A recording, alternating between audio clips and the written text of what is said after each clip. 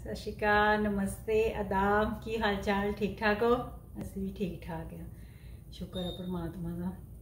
ਤੇ ਅੱਜ ਦੀ ਵੀਡੀਓ ਸ਼ੁਰੂ ਕਰਦੇ ਹਾਂ। ਅੱਜ ਥਰਸਡੇ ਹੈ ਇੱਥੇ 26 ਨਵੰਬਰ। ਅੱਜ ਇੱਥੇ ਥੈਂਕਸਗਿਵਿੰਗ ਆ। So happy Thanksgiving to everybody ਇਹ ਅਮਰੀਕਾ ਦੀ ਹੌਲੀਡੇ ਆ ਇੱਥੇ ਨੈਸ਼ਨਲ ਹੌਲੀਡੇ ਹੁੰਦੀ ਥੈਂਕਸਗਿਵਿੰਗ ਨੂੰ।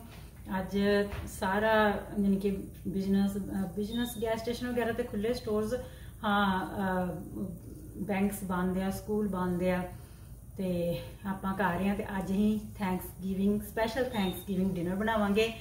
ਇਹ ਇਹਨਾਂ ਦਾ ਕਾਫੀ ਅਰਾਊਂਡ 1640 ਸਮਥਿੰਗ ਇੱਥੋਂ ਸਟਾਰਟ ਹੋਇਆ ਇਹਨਾਂ ਦਾ, ਕਿ ਜਿਹੜੇ ਨੇਟਿਵ ਅਮਰੀਕਨ ਹੁੰਦੇ ਸੀ ਅਮਰੀਕਨ ਜਿਹੜੇ ਪਹਿਲਾਂ, ਉਹਨਾਂ ਦਾ ਸੀਗਾ ਕਿ ਸ਼ੇਅਰਿੰਗ ਸ਼ੇਅਰ ਫੂਡ ਕਰਦੇ ਸੀਗੇ। ਉਹਨਾਂ ਨੇ ਫਸਟ ਟਾਈਮ ਜਿੱਦਾਂ ਜਿੱਦਾਂ ਥੈਂਕਸ ਕੀਤਾ ਸੀ ਸ਼ੇਅਰਿੰਗ ਸ਼ੇਅਰ ਫੂਡ ਕੀਤਾ ਸੀਗਾ।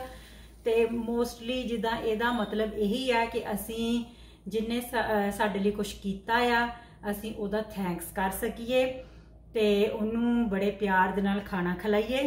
ਇਹ ਅੱਜ ਥੈਂਕਸ ਗਿਵਿੰਗ ਡਿਨਰ ਹੁੰਦਾ ਸਪੈਸ਼ਲ ਡੇ ਆ ਤੇ ਜਿੱਥੇ ਸਪੈਸ਼ਲ ਡਿਨਰ ਬਣਾਉਂਦੇ ਆ ਥੈਂਕਸ ਕਰਦੇ ਆ ਸਾਰਿਆਂ ਦਾ ਤੇ ਸਭ ਤੋਂ ਪਹਿਲਾਂ ਮੈਂ ਤੁਹਾਡਾ ਸਾਰਿਆਂ ਦਾ ਥੈਂਕਸ ਕਰਦੀ ਹਾਂ ਜਿਨ੍ਹਾਂ ਨੇ ਮੇਰੇ ਚੈਨਲ ਨੂੰ ਸਬਸਕ੍ਰਾਈਬ ਕੀਤਾ ਹੈ, ਮੈਨੂੰ ਇੱਥੇ ਤੱਕ ਪਹੁੰਚਾਇਆ ਹੈ ਤੇ ਅੱਗੇ ਵੀ ਸਾਥ ਦੇਣਾ, ਉਹਨਾਂ ਦਾ ਥੈਂਕਸ ਆ। ਤੇ ਜਿਨ੍ਹਾਂ ਨੇ ਮੇਰਾ ਚੈਨਲ ਸਬਸਕ੍ਰਾਈਬ ਨਹੀਂ ਕੀਤਾ, ਮੇਰੇ ਆਪਣੇ, ਮੇਰੇ ਜ਼ਿਆਦਾ ক্লোਜ਼ ਜਿਹੜੇ ਮੇਰੇ ਵੀਡੀਓਜ਼ ਦੇਖਦੇ ਆ ਪਰ ਚੈਨਲ ਸਬਸਕ੍ਰਾਈਬ ਨਹੀਂ ਕੀਤਾ, ਉਹ ਸਮਝ ਕੇ ਹੋਣੇ ਆ। ਤੇ ਉਹਨਾਂ ਦਾ ਵੀ ਥੈਂਕਸ ਆ। ਪਰ ਉਹਨਾਂ ਦੇ ਅੱਗੇ ਇੱਕ ਰਿਕੁਐਸਟ ਵੀ ਆ ਵੀ ਪਲੀਜ਼ ਮੈਨੂੰ ਇੰਨਾ ਜ਼ਿਆਦਾ ਪਿਆਰ ਨਾ ਕਰੋ, ਮੇਰਾ ਚੈਨਲ ਸਬਸਕ੍ਰਾਈਬ ਕਰ ਦਿਓ ਬਸ। ਤੁਹਾਡਾ ਪਿਆਰ ਮਿਲਿਆ, ਬਹੁਤ ਥੈਂਕ ਯੂ ਆ। ਪਰ ਮੇਰੇ ਨਾਲ ਦੀ ਨਾਲ ਚੈਨਲ ਵੀ ਸਬਸਕ੍ਰਾਈਬ ਕਰ ਦਿਓ ਪਲੀਜ਼ ਤੇ ਕਮੈਂਟ ਜਰੂਰ ਕਰੋ ਕਿਉਂਕਿ ਗਿਵ ਵਿੱਚ ਐਂਟਰ ਹੋਣ ਲਈ ਕਮੈਂਟ ਤੁਹਾਨੂੰ ਕਰਨਾ ਪੈਣਾ ਆ। ਵੀਡੀਓ ਲਾਈਕ ਕਰ ਦਿਆ ਕਰੋ ਪਲੀਜ਼ ਮੈਂ ਨਵਾਂ ਚੈਨਲ ਖੋਲਿਆ, ਮੈਨੂੰ ਸਪੋਰਟ ਕਰੋ। ਤੇ ਥੈਂਕਸ ਹੋ ਗਿਆ। ਤੇ ਆਪਾਂ ਹੁਣ ਡਿਨਰ ਸਟਾਰਟ ਕਰਨ ਲੱਗੇ ਆ ਤੇ ਬਾਕੀ ਮੈਂ ਇੱਕ ਗੱਲ ਉਹਨਾਂ ਲਈ ਕਹੂੰਗੀ, ਜਿਹੜੇ ਵਿਚਾਰੇ ਕਿਸਾਨ, ਉਹਨਾਂ ਦਾ ਅੱਜ ਸੰਘਰਸ਼ ਸ਼ੁਰੂ ਹੈ ਪੰਜਾਬ ਦੇ ਵਿੱਚ ਤੇ ਉਹਨਾਂ ਨੇ ਜਿਹੜਾ ਮੁੱਦਾ ਚੱਕਿਆ ਆਪਣਾ ਜ਼ਮੀਨਾਂ ਬਾਰੇ। ਤੇ ਕਿ ਸਰਕਾਰ ਦੇ ਖਿਲਾਫ ਉਹ ਬੇਨਤੀ ਲੈ ਕੇ ਗਏ ਆ, ਦਿੱਲੀ ਪਲੀਜ਼ ਪਰਮਾਤਮਾ ਉਹਨਾਂ ਨੂੰ ਚੜ੍ਹਦੀ ਕਲਾ 'ਚ ਰੱਖੇ ਤੇ ਸੁਖ ਸ਼ਾਂਤੀ ਨਾਲ ਸਾਰੀ ਗੱਲਬਾਤ ਹੋ ਜੇ, ਸਾਰੇ ਫੈਸਲੇ ਸਹੀ ਹੋਣ ਤੇ ਇੰਨੀ ਮੈਂ ਪਰਮਾਤਮਾ ਅੱਗੇ ਰਿਕੁਐਸਟ ਕਰ ਸਕਦੀ, ਅਰਦਾਸ ਕਰ ਸਕਦੀ ਆ ਤੇ ਸਾਰੇ ਕੁਝ ਠੀਕ ਠਾਕ ਰਹੇ ਤੇ ਚਲੋ, ਆਪਾਂ ਹੁਣ ਆਪਣਾ ਥੈਂਕਸਗਿਵਿੰਗ ਡਿਨਰ ਸ਼ੁਰੂ ਕਰਨ ਲੱਗੇ ਆ ਤੇ ਅਸੀਂ ਸ਼ੁਰੂ ਕਰਾਂਗੇ ਕ੍ਰੈਨਬਰੀ ਸੌਸ ਦੇ ਨਾਲ। ਤੇ ਮੈਂ ਤੁਹਾਨੂੰ ਗੈਸ ਵੱਲ ਲੈ ਕੇ ਜਾ ਰਹੀ ਆ ਆਜੋ ਫਿਰ। ਅਸੀਂ ਕ੍ਰੈਨਬਰੀ ਸੌਸ ਬਣਾਵਾਂਗੇ ਸਭ ਤੋਂ ਪਹਿਲਾਂ। ਜਿਹਦੇ ਲਈ ਮੈਂ 1 ਕੱਪ ਪਾਣੀ ਲਿਆ ਆ, ਉਹਨੂੰ ਅਸੀਂ ਬੋਇਲ ਕਰ ਰਹੇ ਆ ਬੋਇਲ ਹੋ ਗਿਆ ਪਾਣੀ। ਫਿਰ ਉਹਦੇ ਵਿੱਚ 1 ਕੱਪ ਅਸੀਂ ਖੰਡ ਪਾਵਾਂਗੇ। ਤੇ ਇਹਨੂੰ ਚੰਗੀ ਤਰ੍ਹਾਂ ਮਿਕਸ ਹੋ ਜੂਗੀ ਖੰਡ ਤੇ ਬੋਇਲ ਹੋਣ ਦਵਾਂਗੇ। ਜਦੋਂ ਖੰਡ ਚੰਗੀ ਤਰ੍ਹਾਂ ਖੁਰ ਜੂਗੀ, ਫਿਰ ਅਸੀਂ ਉਹਦੇ ਵਿੱਚ ਕ੍ਰੈਨਬਰੀਜ਼ ਪਾਵਾਂਗੇ। ਕ੍ਰੈਨਬਰੀਜ਼ ਨੂੰ ਮੈਂ ਧੋ ਧਾ ਕੇ ਰੱਖ ਲਿਆ ਹੈ, ਦੇਖ ਲਓ। ਧੋ ਕੇ, ਸਾਫ਼ ਕਰਕੇ ਰੱਖ ਲਿਆ ਹੈ। ਤੇ ਜਦੋਂ ਪਾਣੀ ਚੰਗੀ ਤਰ੍ਹਾਂ ਬੋਇਲ ਹੋ ਜੂ ਖੰਡ ਮੈਲਟ ਹੋ ਜੂਗੀ ਫਿਰ ਅਸੀਂ ਕ੍ਰੈਨਬਰੀਜ਼ ਪਾ ਦਾਂਗੇ। ਪਾਣੀ ਬੋਇਲ ਹੋ ਰਿਹਾ ਹੈ, ਦੇਖ ਲਓ। ਤੇ ਇਸ ਸਟੇਜ ਤੇ ਹੀ ਆ ਕੇ ਕ੍ਰੈਨਬੇਰੀਜ਼ ਪਾ ਦਾਂਗੇ। 2 ਕੱਪ ਕ੍ਰੈਨਬੇਰੀਜ਼ ਇਹ ਕ੍ਰੈਨਬੇਰੀਜ਼ ਬਹੁਤ ਹੀ ਖੱਟੀਆਂ ਹੁੰਦੀਆਂ, ਇਸ ਕਰਕੇ ਇਹਨੂੰ ਬੈਲੈਂਸ ਕਰਨ ਲਈ। ਇਹਦੇ ਵਿੱਚ ਸ਼ੂਗਰ ਪਾਉਣੀ ਪੈਂਦੀ ਹੈ। ਜਿੱਦਾਂ ਆਪਾਂ ਇਮਲੀ ਦੀ ਚਟਨੀ ਬਣਾਉਂਦੇ ਆ ਤੇ ਉਹਦੇ ਵਿੱਚ ਵੀ ਅਸੀਂ ਸ਼ੂਗਰ ਪਾਉਂਦੇ ਆ ਤੇ ਫਿਰ ਇਮਲੀ ਬਹੁਤ ਖੱਟੀ ਹੋਣ ਕਰਕੇ ਫਿਰ ਇਹਨੂੰ ਥੋੜਾ ਉਹਦਾ ਟੇਸਟ ਬੈਲੈਂਸ ਕਰਨਾ ਪੈਂਦਾ, ਖੱਟ ਮਿੱਠਾ ਜਿਹਾ ਟੇਸਟ ਹੁੰਦਾ ਇਦਾਂ ਹੀ ਕ੍ਰੈਨਬੇਰੀਜ਼ ਦਾ ਇਹਦਾ ਟੇਸਟ ਖੱਟ ਮਿੱਠਾ ਜਿਹਾ ਟੇਸਟ ਬਣੂਗਾ। ਤੇ ਇਹਨੂੰ ਹੁਣ ਬੋਇਲ ਕਰਾਂਗੇ, ਇਹਨੂੰ ਉਨੀ ਦੇਰ ਤੱਕ ਰਹੀ ਬੋਇਲ ਕਰਨਾ ਹੈ, ਜਿੰਨੀ ਦੇਰ ਤੱਕ ਇਹ ਫਟਣ ਲੱਗ ਪੈਣਗੀਆਂ। ਇਹ ਨਾ ਜਿੱਦਾਂ ਹੁਣ ਰਾਉਂਡ ਹੈਗੀਆਂ ਆ, ਇਹ ਫਟਣ ਲੱਗ ਪੈਣਗੀਆਂ। ਉਨੀ ਦੇਰ ਤੱਕ ਇਹਨੂੰ ਹੀ ਬੋਇਲ ਕਰਾਂਗੇ। ਸਾਡੀ ਸੌਸ ਬਣ ਗਈ ਆ। 10 ਮਿੰਟ ਹੋ ਗਏ ਸੀ ਇਹਨੂੰ ਰਿੱਝਦਿਆਂ ਨੂੰ। ਮੀਡੀਅਮ ਗੈਸ ਤੇ ਰੱਖੀ ਸੀਗੀ। ਤੇ ਆ ਦੇਖੋ, ਥਿਕ ਹੋ ਗਈ ਬੜੀ ਵਧੀਆ। ਹੁਣ ਅਸੀਂ ਇਹਦੇ ਵਿੱਚ ਰੇਜ਼ਨ ਥੋੜੇ ਜਿਹੇ ਰੇਜ਼ਨ ਆ ਤੇ 7-8 ਅਖਰੋਟ ਸੀਗੇ। ਤੇ ਉਹਨੂੰ ਅਸੀਂ ਅਖਰੋਟਾਂ ਨੂੰ ਥੋੜਾ ਜਿਹਾ ਕ੍ਰਸ਼ ਕਰ ਲਿਆ ਤੇ ਰੇਜ਼ਨ ਨੂੰ, ਇਹਨਾਂ ਨੂੰ ਪਾ ਦਵਾਂਗੇ। ਤੇ ਬਸ ਅਸੀਂ ਇਹਨੂੰ 2 ਮਿੰਟ ਇਹਨੂੰ ਹੋਰ ਰਝਾਵਾਂਗੇ ਤੇ ਸਾਡੀ ਸੌਸ ਰੈਡੀ ਲਓ ਜੀ, ਸਾਡੀ ਸੌਸ ਰੈਡੀ ਹੋ ਗਈ, ਗੈਸ ਮੈਂ ਬੰਦ ਕਰ ਦਿੱਤੀ ਆ। ਆ ਵੇਖੋ ਇਦਾਂ ਹੋਣੀ ਚਾਹੀਦੀ ਹੈ ਹਾਂਜੀ ਚਿਕਨ ਸੈਂਡਵਿਚ ਬਣਾਵਾਂਗੇ ਸ਼ਾਮ ਨੂੰ ਗ੍ਰਿਲਡ ਚਿਕਨ ਸੈਂਡਵਿਚ ਸੋ ਅਸੀਂ ਚਿਕਨ ਬ੍ਰੈਸਟ ਲੈ ਲਈ ਆ, ਇਹਨੂੰ ਹੀ ਥਿਨਲੀ ਸਲਾਈਸਡ ਚ ਕੱਟ ਲਿਆ ਹੈ। ਤਾਂ ਦੇਖੋ, ਤੇ ਇਹਨੂੰ ਹੀ ਮੈਰੀਨੇਟ ਕਰਕੇ ਰੱਖ ਦਵਾਂਗੇ। 4-5 ਘੰਟੇ ਮੈਰੀਨੇਟ ਰਹੂਗਾ, ਤੇ ਫਿਰ ਅਸੀਂ ਇਹਨੂੰ ਗ੍ਰਿਲਡ ਕਰਾਂਗੇ ਸ਼ਾਮ ਨੂੰ। ਅਸੀਂ ਆ ਦੋ ਲੈ ਲਏ ਆ ਗਾਰਲਿਕ ਦੇ। ਤੇ ਇਹਨੂੰ ਗਾਰਲਿਕ ਨੂੰ ਗ੍ਰੇਟ ਕਰ ਲਿਆ ਅੱਛਾ ਜੀ, ਨਮਕ ਤੁਸੀਂ ਆਪਣੇ ਸਵਾਦ ਅਨੁਸਾਰ ਲੈਣਾ ਆ। ਸਾਡਾ ਥੋੜਾ ਨਮਕ ਘੱਟ ਤੇਜ਼ ਹੈਗਾ, ਇਸ ਕਰਕੇ ਮੈਂ ਥੋੜਾ ਤੁਹਾਨੂੰ ਲੱਗੇਗਾ ਕਿ ਜ਼ਿਆਦਾ ਪਾ ਰਹੀ ਹਾਂ ਬਲੈਕ ਪੈਪਰ ਲੈ ਲੈਣੀ ਆ ਹਾਫ ਟੀਸਪੂਨ ਥੋੜਾ ਕਿਊਮਨ ਸੀਡ ਪਾ ਲੈਣੇ ਆ। ਤੇ chicken masala 1 teaspoon oregano half teaspoon parsley half teaspoon uh, onion powder half teaspoon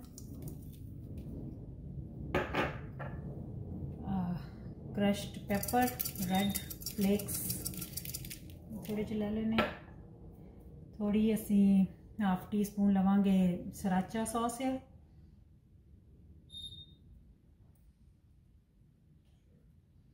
ਤੇ ਹਾਫ ਟੀ ਸਪੂਨ ਹੀ ਲਵਾਂਗੇ ਸੋਇਆ ਸੌਸ ਕੋਈ ਵੀ ਸੋਇਆ ਸੌਸ ਤੁਸੀਂ ਲੈ ਸਕਦੇ ਜੀ। ਤੇ 1 ਟੀਸਪੂਨ ਲਵਾਂਗੇ 올ਿਵ ਆਇਲ ਇਹਨੂੰ ਹੀ ਹੁਣ ਮਿਕਸ ਕਰ ਦੇਣਾ ਚੰਗੀ ਤਰ੍ਹਾਂ ਮਿਕਸ ਕਰਕੇ ਕਵਰ ਕਰਕੇ ਇਹਨੂੰ ਫ੍ਰਿਜ 'ਚ ਰੱਖ ਦੇਣਾ। ਤੇ 4-5 ਘੰਟੇ ਮੈਰੀਨੇਟ ਰਹੂਗਾ ਤੇ ਫਿਰ ਅਸੀਂ ਇਹਨੂੰ ਕੱਢ ਕੇ ਤੇ ਸੈਂਡਵਿਚ ਆਪਣੇ ਰੈਡੀ ਕਰਾਂਗੇ। ਕਿਉਂਕਿ ਜਿੰਨੀ ਦੇਰ ਤੱਕ ਜ਼ਿਆਦਾ ਮੈਰੀਨੇਟ ਰਹੂਗਾ ਉਨੀ ਵਧੀਆ ਮਸਾਲੇ ਚਿਕਨ ਦੇ ਅੰਦਰ ਚਲੇ ਜਾਣਗੇ। ਮੈਂ ਕਿਹਾ ਥੋੜੀ ਜਿਹੀ ਪ੍ਰੀਪਰੇਸ਼ਨ ਦਿਨੇ ਕਰਕੇ ਰੱਖ ਲਈਏ, ਫਿਰ ਈਜ਼ੀ ਰਹਿੰਦਾ ਹੈਗਾ ਤੁਹਾਨੂੰ, ਹੈਨਾ, ਕਿ ਸ਼ਾਮ ਨੂੰ ਡਿਨਰ ਜਦੋਂ ਰੈਡੀ ਕਰਨਾ, ਕਿਉਂਕਿ 4-5 ਆਈਟਮਸ ਇਕੱਠੀਆਂ ਬਣਾਉਣੀਆਂ ਆ, ਤੇ ਰਸ਼ ਨਹੀਂ ਪੈਂਦਾ।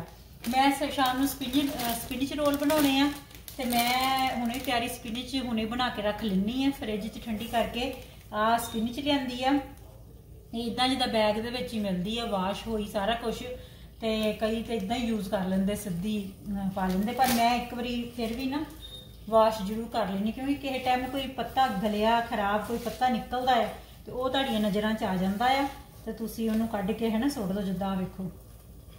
ਇਸ ਕਰਕੇ ਮੈਂ ਆਲਵੇਜ਼ ਜਿੱਦਾਂ ਇਦਾਂ ਪੈਕਟ 'ਚੋਂ ਕਦੀ ਚੀਜ਼ ਨਹੀਂ ਪਾਉਂਦੀ, ਉਹਨੂੰ ਹਮੇਸ਼ਾ ਇਦਾਂ ਵਾਸ਼ ਕਰਕੇ ਤੇ ਫੇਰ ਹੀ ਪਾਉਂਦੀ ਇਹਦੇ 'ਚ ਥੋੜਾ ਜਿਹਾ ਹੀ ਪਾਣੀ ਪਾਇਆ ਜੇ ਸਪਿਨਿਸ਼ ਪਾ ਦੇਣੀ ਸਪਿਨਿਸ਼ 'ਚ ਵੀ ਪਾਣੀ ਹੁੰਦਾ ਆ, ਤੇ ਨੇ ਸੌਫਟ ਹੁਣੇ ਹੋ ਜਾਣਾ। ਤੇ ਇਹਨੂੰ ਫਿਰ ਅਸੀਂ ਕਰ ਲੈਣਾ ਗ੍ਰਾਈਂਡ ਕਰਕੇ ਚੰਗੀ ਤਰ੍ਹਾਂ, ਤੇ ਫਿਰ ਇਹਨੂੰ ਹੀ ਫ੍ਰਿਜ 'ਚ ਭਾਵੇਂ ਰੱਖ ਦੋ, ਭਾਵੇਂ ਬਾਹਰ ਪਈ ਰਵੇ। ਕਿਉਂਕਿ ਇਹ ਰੈਡੀ ਹੋਊਗੀ ਸ਼ਾਮ ਨੂੰ ਰੋਲ ਬਣਾਉਣ ਲਈ ਤੇ ਈਜ਼ੀ ਫਿਰ ਫਟਾਫਟ ਰੋਲ ਬਣ ਜਾਂਦੇ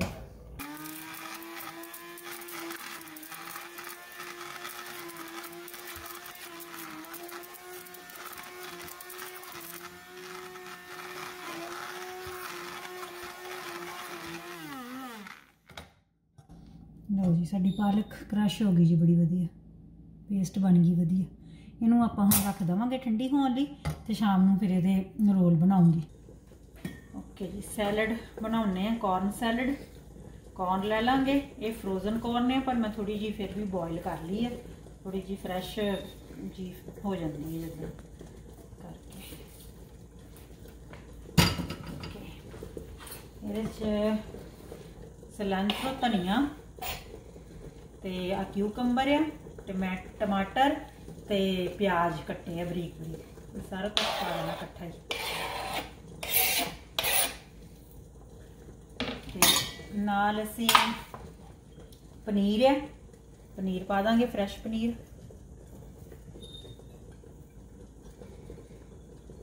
ਅੱਛਾ, ਨਾਲ ਪਾਵਾਂਗੇ ਸਾਲਟ ਸਵਾਦ ਅਨੁਸਾਰ। ਤੇ ਬਲੈਕ ਪੈਪਰ ਲੈਮਨ ਪਾ ਦਾਂਗੇ ਹਾਫ ਲੈਮਨ। ਤੇ ਨਾਲ 올ਿਵ ਆਇਲ ਆ, ਇੱਕ ਸਪੂਨ 올ਿਵ ਆਇਲ ਤੇ ਬਸ ਸਾਡਾ ਸੈਲਡ ਰੈਡੀ ਲਓ ਜੀ ਚਿਕਨ ਗ੍ਰਿਲ ਦੇ ਉੱਤੇ ਲੱਗ ਗਿਆ ਆ। ਨਾਲ ਹੀ ਮੈਰੀਨੇਟ ਕੀਤਾ ਸੀ, ਤੁਸੀਂ ਦੇਖਿਆ ਹੀਗਾ ਬਸ ਉਹਨੂੰ ਹੁਣ ਚੋਕ ਕੱਢ ਕੇ 4-5 ਘੰਟੇ ਹੋ ਗਏ ਸੀ ਮੈਰੀਨੇਟ ਕੀਤੇ ਨੂੰ, ਆਪਾਂ ਆਪਾਂ ਗ੍ਰਿਲ ਦੇ ਉੱਤੇ ਲਾਤਾ। ਇਹ ਇਨਡੋਰ ਗ੍ਰਿਲ ਆ। ਤੇ ਨਾਲ ਹੀ ਅਸੀਂ ਪਿਆਜ਼ ਤੇ ਗ੍ਰੀਨ ਪੈਪਰ ਉਹ ਵੀ ਰੱਖ ਦਿੱਤੇ, ਉਹ ਵੀ ਨਾਲ ਗ੍ਰਿਲ ਹੋ ਜਾਣਗੇ। ਤੇ ਇਹਨੂੰ ਜਾਨੀ ਕਿ 5-7 ਮਿੰਟ ਰਹਿਣ ਦੇਣਾ ਆ ਤੇ ਫਿਰ ਉਸ ਤੋਂ ਬਾਅਦ ਇਹਨੂੰ ਦੂਸਰੀ ਇਹਦੀ ਸਾਈਡ ਸਵਿਚ ਕਰਨੀ ਲਓ ਜੀ ਕਰੀਮ ਚੀਜ਼ ਪਾਤੀ ਹੀ ਇਹਦੇ ਵਿੱਚ। 2 ਸਪੂਨ ਕਰੀਮ ਚੀਜ਼ ਪਾਤੇ ਆ ਤੇ 2 ਸਪੂਨ ਅਸੀਂ ਸਪਿਨਚ ਦੇ ਪਾ ਦੇਣੇ, ਜਿਹੜੀ ਅਸੀਂ ਬੋਇਲ ਕੀਤੀ ਸੀ ਤੈਨੂੰ ਮੈਸ਼ ਕੀਤਾ ਸੀਗਾ, ਵਿੱਚ ਨਮਕ ਸਵਾਦ ਅਨੁਸਾਰ ਤੇ ਬਲੈਕ ਪੈਪਰ ਪਾ ਕੇ ਤੇ ਇਹਨੂੰ ਅਸੀਂ ਮਿਕਸ ਕਰ ਦੇਣਾ ਚੰਗੀ ਤਰ੍ਹਾਂ। ਓਕੇ, ਲਓ ਜੀ, ਦੇਖੋ, ਇੱਕ ਸਾਈਡ ਸਾਡੀ ਕੁੱਕ ਹੋ ਗਈ ਆ। ਆਪਾਂ ਇਹਨੂੰ ਚੇਂਜ ਕਰਤਾ ਦੂਸਰੀ ਸਾਈਡ ਕਿੰਨਾ ਸੋਹਣਾ ਕੁੱਕ ਵੇਖੋ ਕਿੱਡਾ ਸੋਹਣਾ ਗ੍ਰਿਲ ਦਾ ਉੱਪਰ ਨਿਸ਼ਾਨ ਬਣਿਆ, ਵਧੀਆ। ਕਿੰਨਾ ਸੋਹਣਾ ਕੁੱਕ ਹੋਇਆ। ਹਾਂਜੀ, ਹਾਂ। ਜੀ ਵੀ ਕੋਈ ਟਈਆਂ ਜਿਵੇਂ ਗ੍ਰਿਲ ਦਾ ਟੇਸਟ ਹੀ ਬਹੁਤ ਅਲੱਗ ਜਿਹਾ ਹੋ ਜਾਂਦਾ ਹੈ ਗ੍ਰਿਲ ਕਰਕੇ ਲਓ ਜੀ ਆਪਾਂ ਜਿਹੜਾ ਸਪਿਨਚ ਤੇ ਕਰੀਮ ਚੀਜ਼ ਦਾ ਕੀਤਾ ਸੀਗਾ ਮਿਕਸਚਰ ਤਿਆਰ ਉਹਨੂੰ ਅਸੀਂ ਇਹਦੇ ਤੇ ਬ੍ਰੈਡ ਰੋਲ ਹੈਗੇ ਆ ਇਹਨੂੰ ਅਸੀਂ ਨਾ ਹਾਫ ਕਰ ਲਿਆ ਵਿੱਚੋਂ ਤੇ ਹਾਫ ਕਰਕੇ ਇਹਦੇ ਵਿੱਚ ਅਸੀਂ ਆ ਲਾਵਾਂਗੇ ਇਹਨੂੰ ਲਾ ਕੇ ਇਹਦੇ ਉੱਤੇ ਮੋਜ਼ਰੇਲਾ ਚੀਜ਼ ਪਾਵਾਂਗੇ ਮੈਂ ਲਾ ਕੇ ਦਿਖਾਉਣੀ ਹੈ ਮੋਜ਼ਰੇਲਾ ਚੀਜ਼ ਫਿਰ ਇਹਨੂੰ ਬੰਦ ਕਰਕੇ ਤੇ ਇਹਦੇ ਉੱਪਰ ਅਸੀਂ ਗਾਰਲਿਕ ਬਟਰ ਉੱਪਰ ਲਾਵਾਂਗੇ। ਅੱਛਾ, ਇੱਥੇ ਅਸੀਂ ਮੈਸ਼ ਕਰ ਲਏ ਪੋਟੇਟੋ ਬੋਇਲ ਕਰਕੇ ਇਹਨਾਂ ਨੂੰ ਮੈਸ਼ ਕਰ ਲਿਆ ਤੇ ਦੁੱਧ ਬੋਇਲ ਕਰ ਲਿਆ। ਦੁੱਧ ਬੋਇਲ ਕਰਕੇ ਇਹਦੇ ਵਿੱਚ ਅਸੀਂ ਬਟਰ ਪਾ ਦਿੱਤਾ ਹੈ। ਹੁਣ ਬਟਰ ਮੈਲਟ ਹੋਊਗਾ ਤੇ ਨਾਲ ਹੀ ਅਸੀਂ ਬਲੈਕ ਪੈਪਰ ਥੋੜੀ ਜੀ ਤੇ ਸਾਲਟ ਪਾਤਾ ਲਓ ਜੀ, ਇਹ ਮੈਲਟ ਹੋ ਜਾਂਦਾ ਬਟਰ ਫਿਰ ਇਹਨਾਂ ਨੂੰ ਪੋਟੇਟੋਸ ਚ ਐਡ ਕਰਾਂਗੇ। ਆ ਜਿਹੜਾ ਦੁੱਧ ਤੇ ਬਟਰ ਆ ਮੈਲਟ ਕੀਤਾ ਸੀ, ਉਹਨੂੰ ਹੀ ਇਹਦੇ ਵਿੱਚ ਪਾ ਦਾਂਗੇ। ਹੌਲੀ ਹੌਲੀ ਪਾਵਾਂਗੇ, ਜਿੱਦਾਂ ਇਹਨੂੰ ਮਿਕਸ ਕਰਤਾ। ਥੋੜਾ ਪਾਇਆ ਸੀ। ਮੈਸ਼ ਪੋਟੇਟੋ ਤੇ ਇਹ ਥੋੜਾ ਜਿਹਾ ਪਾ ਦਾਂਗੇ। ਤੇ ਇਹਨੂੰ ਸੌਫਟਲੀ ਹੱਥਾਂ ਨਾਲ ਇਹਨੂੰ ਕਰਨਾ ਮਿਕਸ ਇਦਾਂ। ਨਾਲ ਹੀ ਅਸੀਂ ਥੋੜੀ ਕਰੀਮ ਚੀਜ਼ ਪਾ ਦਾਂਗੇ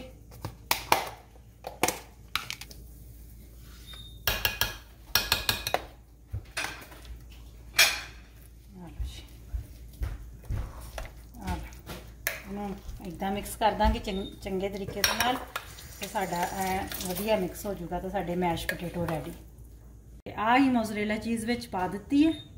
ਸ਼੍ਰੈਡਡ ਮੋਜ਼ਰੇਲਾ ਚੀਜ਼ ਪਲੱਸ ਹੁਣ ਅਸੀਂ ਆ ਗਾਰਲਿਕ ਬਟਰ ਬਣਾਇਆ ਹੈ। ਬਟਰ ਮੈਲਟ ਕਰਕੇ ਵਿੱਚ ਗਾਰਲਿਕ ਪਾਤਾ ਇਹਨੂੰ ਅਸੀਂ ਉੱਤੇ ਲਾ ਦੇਣਾ ਹੈ। ਇਦਾਂ ਸਪਰੈਡ ਕਰਕੇ ਤੇ ਇਹਨੂੰ ਫਿਰ ਅਸੀਂ ਓਵਨ ਦੇ ਵਿੱਚ ਰੱਖ ਲੈਣਾ। 5-7 ਮਿੰਟ ਚੀਜ਼ ਮੈਲਟ ਹੋ ਜੂਗੀ ਤੇ ਆਪਣੇ ਜਿਹੜੇ ਆ ਡਿਨਰ ਰੋਲ ਆ ਜਾਂ ਸਪਿਨਚ ਰੋਲ ਆ, ਤੁਸੀਂ ਕੁਝ ਵੀ ਕਹਿ ਸਕਦੇ ਆ ਉਹ ਆਪਣੀ ਰੈਡੀ ਆ। ਲਓ ਜੀ, ਸਾਡੀ ਫਾਈਨਲ ਲੁੱਕ ਸੈਂਡਵਿਚ ਦੀ ਇਦਾਂ ਬਣੂਗੀ। ਚਿਕਨ ਸੈਂਡਵਿਚ ਆ ਗਿਆ ਮੂੰਹ 'ਚ ਪਾਣੀ। ਬਣਾ ਲਓ, ਤੁਸੀਂ ਵੀ ਦਿਖਾ ਲਓ ਫਟਾਫਟ। ਲਓ ਜੀ final look sandwich spinach roll ਆ। ਜੇ ਤੁਸੀਂ ਖੋਲ ਕੇ ਦੇਖ ਆ ਦੇਖੋ, ਕਿੰਨੀ ਵਧੀਆ। ਤੇ ਆ ਸਾਡੇ ਬਿਸਕਿਟ ਆ। ਸੈਲਡ ਆ ਹੈਗੇ ਆ mash potatoes, cheesy French fry. ਚਲੋ ਜੀ, ਸਾਡਾ ਥੈਂਕਸ ਗਿਵਿੰਗ ਫਾਈਨਲੀ ਡਨ ਹੋ ਗਿਆ, ਕਿਉਂਕਿ ਇੱਕਦਮ ਸਾਰਾ ਕੁਝ ਇੰਨੀਆਂ ਡਿਸ਼ਸ ਡਿਸ਼ਸ ਬਣਾਉਣੀਆਂ ਹੁੰਦੀਆਂ, ਤੇ ਉਹ ਵੀ ਹੁੰਦਾ ਕਿ ਸਾਰੀਆਂ ਗਰਮ-ਗਰਮ ਰਹਿਣ, ਠੰਡੀਆਂ ਨਾ ਕਿਤੇ ਹੋ ਜਾਣ, ਤੇ ਕਾਲੀ ਪਈ ਹੀ ਇੰਨਾ ਜ਼ਿਆਦਾ ਮੈਂ ਪਲੇਟਿੰਗ ਨਹੀਂ ਕਰ ਸਕੀ, ਜਿੱਦਾਂ ਮੈਂ ਰੈਡੀ ਕੀਤਾ ਸੀ ਉਦਾਂ ਹੀ ਤੁਹਾਨੂੰ ਵਿਖਾਤਾ origignal ਵੇ ਕਿਉਂਕਿ ਕੋਈ ਮੈਂ ਹਰ ਚੀਜ਼ ਨੈਚੁਰਲ ਰੱਖਣਾ ਚਾਹੁੰਦੀ ਆ, ਉਹਨੂੰ ਇੰਨਾ ਸਜਾ ਸਜਾ ਕੇ ਪੇਸ਼ ਕਰਦੀ, ਉਨੀ ਦੇਰ ਨੂੰ ਠੰਡਾ ਹੋ ਜਾਂਦਾ, ਕਿਉਂਕਿ ਅਸੀਂ ਇਹ ਫੂਡ ਖਾਣਾ ਹੈ ਹੁਣ। ਤੇ ਇਸੇ ਦੇ ਨਾਲ ਹੀ ਅੱਜ ਵੀਡੀਓ ਦਾ ਐਂਡ ਕਰਦੇ ਆ। ਆਈ ਹੋਪ ਕਿ ਤੁਹਾਨੂੰ ਵੀਡੀਓ ਚੰਗੀ ਲੱਗੀ ਹੋਊਗੀ। ਤੇ ਪਲੀਜ਼ ਮੇਰੇ ਚੈਨਲ ਨੂੰ ਲਾਈਕ ਸਬਸਕ੍ਰਾਈਬ ਕਰ ਦਿਓ ਤੇ ਸ਼ੇਅਰ ਕਰ ਦਿਓ ਤੇ ਕਮੈਂਟ ਜ਼ਰੂਰ ਕਰਿਓ ਜੇ ਗਿਵ ਅਵੇ ਚ ਤੁਸੀਂ ਐਂਟਰ ਹੋਣਾ ਚਾਹੁੰਦੇ ਜੇ। Please leave the comment and ਖੁਸ਼ ਰਹੋ, ਚੜ੍ਹਦੀ ਕਲਾ ਚ ਰਹੋ, ਹੱਸਦੇ ਵਸਦੇ ਰਹੋ happy Thanksgiving once again ਤੇ ਮਿਲਾਂਗੇ ਤੁਹਾਨੂੰ ਅਗਲੀ ਵੀਡੀਓ ਦੇ ਵਿੱਚ। ਤਬ ਤਬ ਤੱਕ ਕੇ ਲਈ ਬਾਏ ਬਾਏ